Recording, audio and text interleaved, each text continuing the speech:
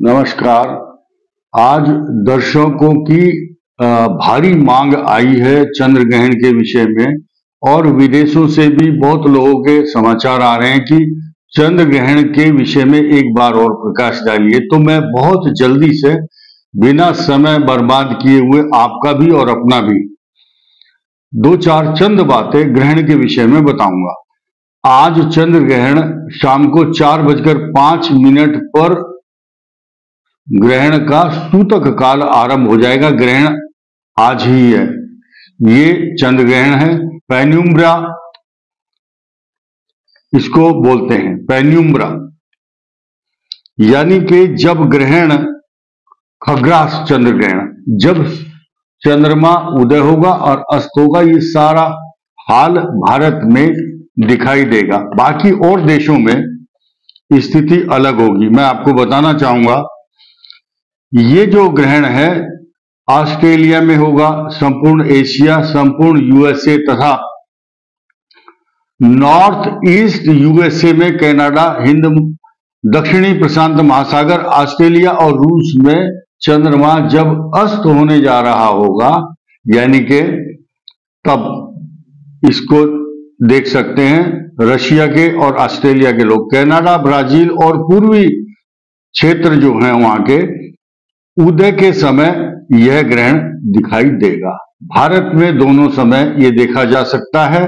धार्मिक कार्य इस दौरान करने चाहिए। हवन, पूजा पाठ, मंत्र सिद्धि, साधना तथा जितने भी शुभ मांगलिक कार्य हैं, रामायण का पाठ, अपने इष्ट देवता का, जो जिसको पूजा करनी है और जो जिस धर्म का व्यक्ति है, वो उसके अनुसार पूजा करे। जहाँ तक रोगियों का प्रश्न है, उनके बारे में भी हम बात करेंगे, गर्भवती महिलाओं के बारे में बताएँगे। लेकिन जैसे ही ग्रहण समाप्त तो हो जाता है, समाप्त होने के बाद यथाशक्ति दान दे सकते हैं। रात का समय होगा तो आप जो दान देंगे, उसको थाली में रख लीजिए अगले दिन। जो भी मांगने वाले आएँगे, जरूरतमंद लोग, उनको आप दान दीजिए यथाशक्ति। कोई सीमा नहीं है कि आपको एक किलो चावल दान करना है या दो किलो। ये आपकी यथाशक्ति भावना के अनुसार होता है। श्रद्धा के अनुसार। इस दौरान मूर्तियों का स्पर्श मंदिरों में पूजा नहीं होती, मंदिरों के कपाट बंद होते हैं। खान पान की वस्तुएँ जो फ्रिज में रखी हैं, आपके बाहर रखी हों, सूखे आइटम, गेहूँ, चावल आदि, चना, दाल, उनमें कोई तुलसी का पत्ता नहीं डालना या कुशा नहीं डालनी है। कुशा और तुलसी सिर्फ़ बने हुए पदार्थ या दूध, दही या जो कि आपकी सब्ज़ी, चावल हैं इसमें आप रख सकते हैं, वो दूषित नहीं होते। इसी के साथ साथ ग्रहण के दौरान मालिश नहीं करनी है शरीर की, सब्ज़ियाँ नहीं काटनी चाहिए। इसके अलावा उस दौरान ऐसा कोई छल कपट का काम, मदिरा पान या फिर गाड़ी चला रहे हैं आप डिसिप्लिन के अंदर रह करके काम करेंगे तो अच्छा रहेगा। ये शास्त्रों की परंपरा है। तो उन कुछ राशियों पर कुछ परेशानी भी रहेगी, कुछ हलचल रहेगी तो आप निश्चिंत हो जाएँ। जिन जिन राशियों को खराब है, उसमें सिर्फ़ ये कह करके मैं संबोधित करूँगा कि उस राशि के लिए अच्छा है या खराब है, अशुभ या अशुभ है। देखिए, मेष राशि के लिए अच्छा नहीं है, क्योंकि ये ग्रहण मेष राशि पर ही है। मेष राशि को ज़्यादा सावधानी रखनी है मन मलिन रहेगा, गुस्सा आएगा, अशांति रहेगी, दाम्पत्य जीवन में एकदम विस्फोट जैसी स्थिति आ सकती है। धन हानि और बिना बात की चिंता रहेगी वृक्ष राशि को। वृक्ष राशि को धन हानि, पैसे का लेन देन सही रखें। मिथुन राशि के लिए ये चंद्र ग्रहण, बहुत लाभ, अचानक धन संपदा, बहुत बड़ी खुशी देने वाला है। ये सब बातें मैं ये बता रहा हूँ, जिनकी कुंडली में और प्रबल पाप ग्रह होगा तो अच्छा फल, शुभ होगा तो शुभ फल, कर्क राशि के लिए रोग, कष्ट, चिंता, भय, तथा सिंह राशि के लिए संतान संबंधी और मन में गुप्त चिंताएँ, तनाव। कन्या राशि के लिए किसी भी तरह से ये अच्छा नहीं कहा जा सकता। कन्या राशि को धन का लाभ बहुत होगा इस चंद्र ग्रहण के दौरान, लेकिन मन अशांत रहेगा, शत्रुओं से भय और उनके खिलाफ कोई कॉन्स्पेरेसी षड्यंत्र कर सकता है। तुला राशि के लिए, पति पत्नी के बीच में संबंध अच्छे नहीं रहेंगे, तनाव हो सकता है, झगड़ा ना करें, चुप रह करके काम चलाएँगे तो अच्छा है। ये दो दिन का जो पीरियड है, चंद्र ग्रहण से एक दिन पहले और एक दिन बाद भी असर करता है। वृश्चिक राशि के लिए गुप्त चिंताएँ, संघर्ष, परेशानी, तनाव, चिंता तथा एकांत में बैठ करके रोने को मन करता है। और क्योंकि ढैया भी चल रही है और चंद्रमा भी खराब है तो वृश्चिक राशि वालों के लिए ये अशांत करने वाला इसलिए जैसे किसी की का हाथ या पैर जल जाता है कहीं से, अग्नि से भय हो गया। और उस जले हुए के ऊपर सुई चुभा दी जाए तो जो कष्ट होता है वो कष्ट इस चंद्र ग्रहण में वृश्चिक राशि वालों को होगा।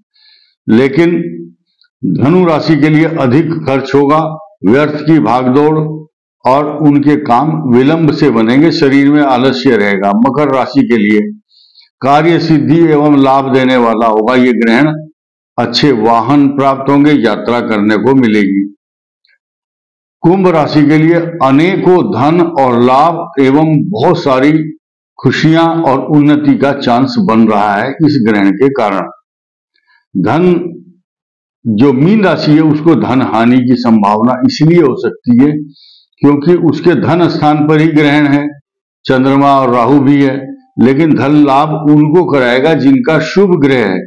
जिनका पाप ग्रह है, उनको धन हानि की संभावना बनेगी। ये बारह राशियों का प्रभाव किस पर रहेगा? बारह राशियों पर इस चंद्र ग्रहण का प्रभाव। आपको बहुत सारे इसमें प्रिवेंशन लेने हैं, बचाव लेना है। जब दो दिन के लिए आप अपने आप को सुरक्षित करने के लिए वाहन चलाते समय ओवरटेक नहीं करना, जिसकी कुंडली में अच्छा ग्रह भी है और अच्छा फल भी दे रहा है, उनके लिए भी सावधानी ये है कि भाई सड़क पर वो सारे लोग चल रहे होंगे जिनकी ग्रह खराब है जिनके अच्छे हैं। तो जिसका ग्रह खराब है, वो भी तो टकरा सकता है आपसे।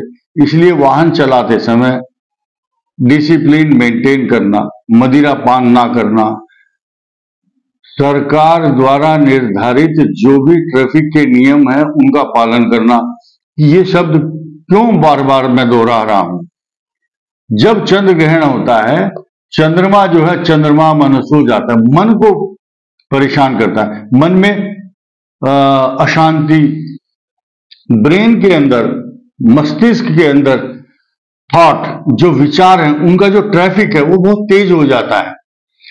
आपने देखा होगा, पूर्णिमा के दिन समुद्र में ज्वार भाटा आता है, यानी कि चंद्रमा जो है, जल है। जल का कारक है। वो जब उछाल कर मारता है, समुद्र का जल, ज्वार भाटा सुनामी आती है, वो चंद्रमा की ओर, अपने तत्व की ओर आकर्षित होता है। इसी प्रकार हर व्यक्ति का जो चंद्रमा है, वो जो खरा, सबका खराब नहीं होता, सबका अच्छा भी नहीं होता।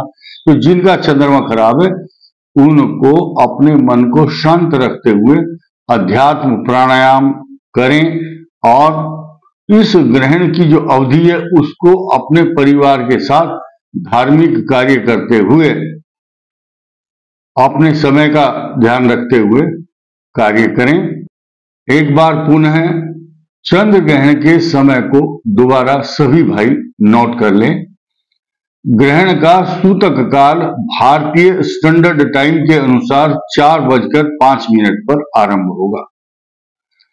इसका जो ग्रहण का स्पर्श काल है वो रात्रि को एक बजकर पाँच मिनट से आरंभ हो जाएगा, अर्थात 28 तारीख की रात और 29 तारीख लग जाएगी। उसको ज्योतिष शास्त्र की भाषा में 25 बजे कहा जाता है। 24 बजे के बाद 25 बजते हैं, ज्योतिष की भाषा है ये। उसके बाद एक बजकर चवालीस मिनट पर, अर्थात पच्चीस बजकर चवालीस मिनट पर मध्य रात्रि में ग्रहण का मध्य काल होगा और ग्रहण का मोक्ष समाप्ति काल, रात्रि दो बजकर चौबीस मिनट पर होगा। इस समय को नोट कर लीजिए। इस दौरान आपको जितने भी प्रिवेंशन लेने हैं, बचाव लेना है, परहेज करने हैं, वो इस दौरान कर सकते हैं। धन्यवाद। नमस्कार।